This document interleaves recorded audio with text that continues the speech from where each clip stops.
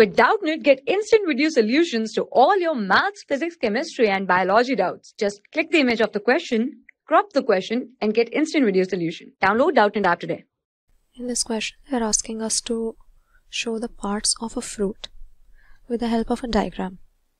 So first of all, let's try to understand what this fruit actually is. We can say that in the flowering plants, the fruit is a structure which is formed after the process of sexual reproduction is complete. Because we know that we have a unit of sexual reproduction known as the flower and we are calling it a unit of reproduction because it contains all the reproductive structures all of the sex organs of the plant. So in the flower we are going to see the female sex organ is known as the carpel or the pistil. In this pistil we are going to see that its lower part, its basal part is quite bulged or we can say enlarged or swollen. So this enlarged lower part is known as the ovary and inside the ovary the ovules are enclosed. So the female gamete or the egg we are going to find inside these ovules.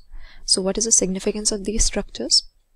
Significance is that after fertilization, this ovule is going to become the seed.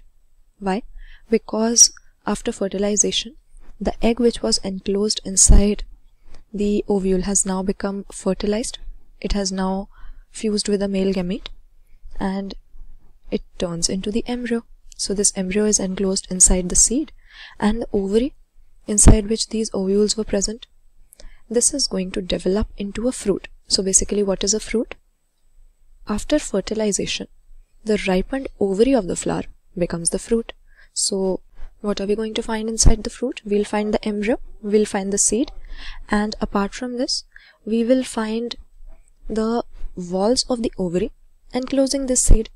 So the fruit wall or the pericarp can further be divided into three parts. So let's see what these three parts of the fruit wall are in this cross section of a fruit.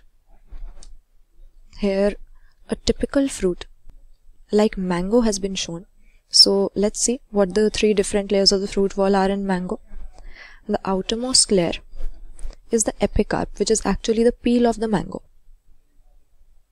And it is not necessary that it is thin like this or it has the same structure in all of the fruits but over here we are observing the thin epicarp of our mango fruit.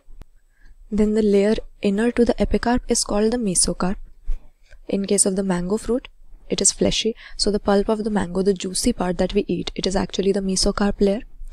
And finally, we have the endocarp, which is close to the seed. And in case of the mango fruit, it is quite hard. It is very stony type. So these are the three different layers we are going to find in the fruit wall. And finally, inside what do we have? We have the seed where the embryo is enclosed inside a covering known as the seed coat. So in this diagram, in this cross section of the mango fruit, what can we see? What the different parts of the fruit are? We've got the seed. Here there's just a single seed in the fruit, but there are many fruits which have large number of seeds. Then we have the fruit wall or the pericarp, which is enclosing this seed and it is further divided into the three wall layers, outermost epicarp, middle mesocarp and the inner endocarp. For class 6 to 12, IIT JEE and NEET level. Trusted by more than 5 crore students. Download Doubtnut app today.